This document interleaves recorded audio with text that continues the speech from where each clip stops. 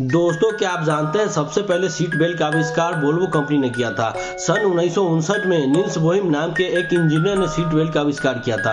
लेकिन जब भी बड़ी कंपनी कोई भी प्रोडक्ट बनाती है तो उसका पेटेंट बना लेती है, कोई दूसरा कंपनी इसको कॉपी न कर पाए। लेकिन वोल्वो कंपनी ने ऐसा नहीं किया। दरअसल वो अपने पेटेंट को, अपनी सारी जो गाड़ी बनाने वाली कंपनी थे, उसको फ्री में दे दिया। और फ्री में इसलिए दे दिया कि वोल्वो कंपनी का इस पर कहना है कि उस समय जो गाड़ी थी, उसमें सीट बेल्ट नहीं होता था। और उस समय एक्सीडेंट जब होता था, बिना सीट बेल्ट के लोग काफ़ी ज़्यादा चोट लगती थी और एक्सीडेंट में वो मारे जाते थे। इसीलिए इस पेटेंट को सारी कंपनी को दे दिया ताकि अपने गाड़ी में इस पेटेंट को यूज़ करें और जो आने वाले जो दिन में लोगों की ये दुर्घटना से मौत होती है, उसमें कमी आ जाए। और ऐसे करके बोलो कंपनी ने बहुत सारे लोगों की मदद भी की है और जान भी बचाई है। तो आपका क्या कहना बोलो कंपनी की इस बड़ी उपलब्धि के बारे में कमेंट सेक्शन में ज़रूर बताइएगा और ऐसी वीडियो के लिए मेरे चैनल को सब्सक्राइब कर लीजिएगा।